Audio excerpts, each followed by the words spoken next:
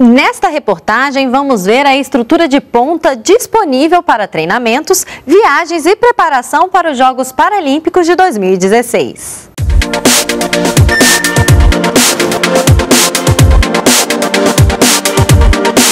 Hoje o investimento está sendo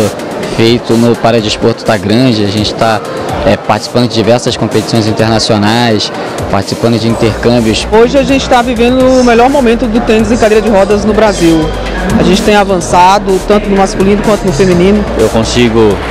ter uma estrutura boa, uma estrutura de treinamento bom, me planejar bem para os treinamentos. Agora a projeção é muito boa para o ano que vem, é, com centros paralímpicos de andantes em Piracicaba e de Brasília, é, que são os cadeirantes. A, o objetivo é ficar entre as cinco melhores equipes do mundo no tênis de mesa ano que vem nos Jogos do Rio. A gente então está filtrando o que é de bom, o que é até é, às vezes de ruim, para poder tirar o máximo do máximo para poder chegar aqui em Rio 2016 e conseguir chegar no top 5, que é a nossa expectativa.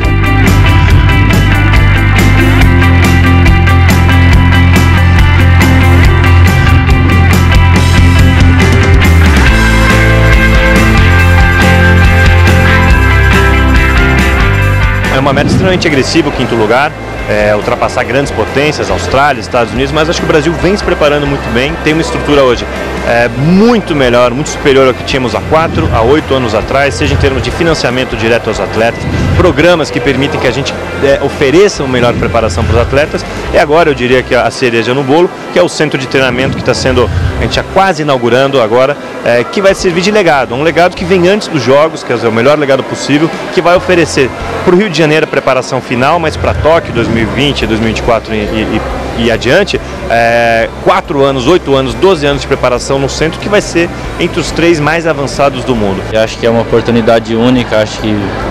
de todos os atletas assim que já tiveram e vão ter, vai ter muito difícil